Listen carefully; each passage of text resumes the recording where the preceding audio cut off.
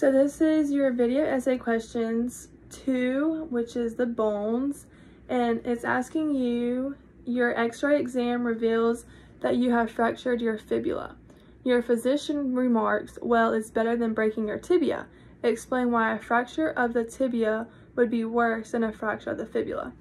So a fracture of the tibia is worse than a fracture of the fibula because the tibia gets the weight of the body from the femur and goes to the foot. Your fibula is the non-weighted bearing bone. Two says an individual with very low levels of vitamin D presents themselves to you complaining of seemingly fragile bones. Explain why these might be connected.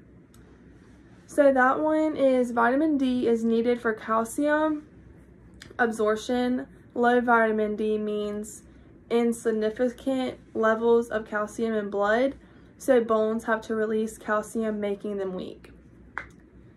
Your last one is during the early years of space exploration, our astronauts who have been floating in space would return to Earth showing significant bone loss dependent on how long they were in space.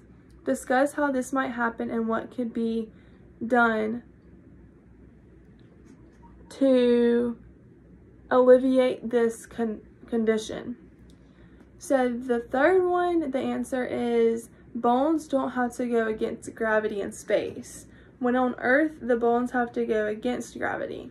Getting clarity of plenty of vitamin D and exercising regularly can prevent bone mass and your bones being affected.